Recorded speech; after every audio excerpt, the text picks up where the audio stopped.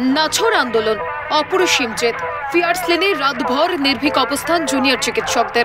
কাদম্বিনীর বিচারের দাবিতে বলাই যায়, এক কাঠা গোটা দুনিয়া। বিচারের দাবিতে উত্তাল সেই পরিস্থিতিতে আর্যিকরের ঘটনায় নাম জড়াতেই তড়িঘড়ি তৃণমূল ছাত্র পরিষদের সিদ্ধান্তে বহিষ্কৃত চিকিৎসক অভিজ্ঞে পাশাপাশি বর্ধমান মেডিকেল কলেজ হাসপাতালে অভিকের রীতিমতো রাজত্ব ছিল, এমনটা অভিযোগ করেন জুনিয়র চিকিৎসকরা। এমনকি আর্যিকরের সেমিনার রুমে অভিকের উপস্থিতির পরিপ্রেক্ষিতে যেসব তথ্য প্রকাশ্যে আসছে, তার বিরুদ্ধেও পড়ুয়াদের জোর করে প্রতিবাদ করানো হয়।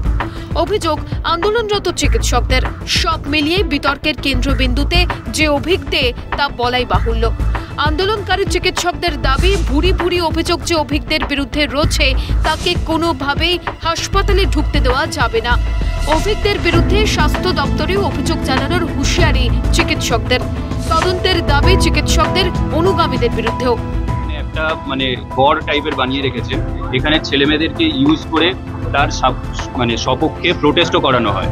যে আমাদেরকে একটা ডকুমেন্টস দেখানো হয়, যেখানে বলা হয় যে অভিক দে ওখানে মানে এক্সটার্নাল হিসাবে গিয়েছিলেন এবং সেই হিসাবে উনি ওই এক্সাম হলে প্রেজেন্ট ছিলেন। অ্যান্ড সেই সাপেক্ষে যে, যেগুলো ছড়ানো হচ্ছে, সেগুলোর এগেনস্টে আমাদেরকে প্রোটেস্ট করানো হয়। এটা ওনার এতেই করানো হয়।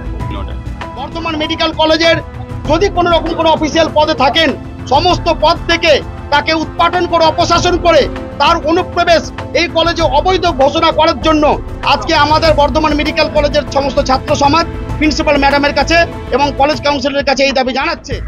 চাপে পড়ে চিকিৎসক পড়ুয়াদের যাবতীয় সিদ্ধান্ত মেনে নেয় বর্ধমান মেডিকেল কলেজ হাসপাতালের কাউন্সিল।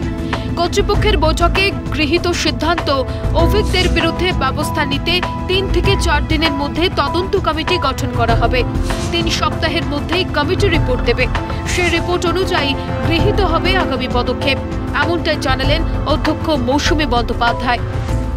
হয়নি এনকোয়ারি কমিটি আজকেই হলো ডিসিশন হলো এনকোয়ারি কমিটির মিটিং হবে।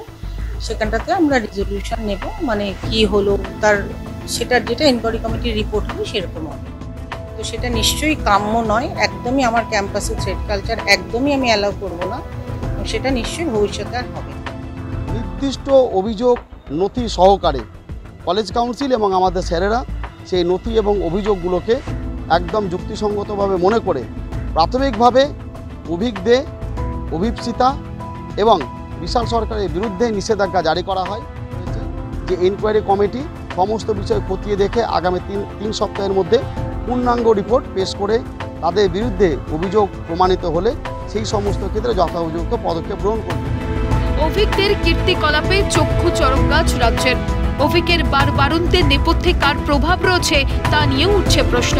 ইতিমধ্যেই দুর্নীতির দায়ে গারদে ঠাঁই হচ্ছে আর্যকরের প্রাক্তন সন্দীপ ঘোষের। তবে সন্দীপের পরে কি এবার পালা অভিকের বর্ধমান মেডিকেল কলেজ হাসপাতালে তদন্ত কমিটির রিপোর্টেই মিলবে জবাব, তা বলাই বাহুল্য।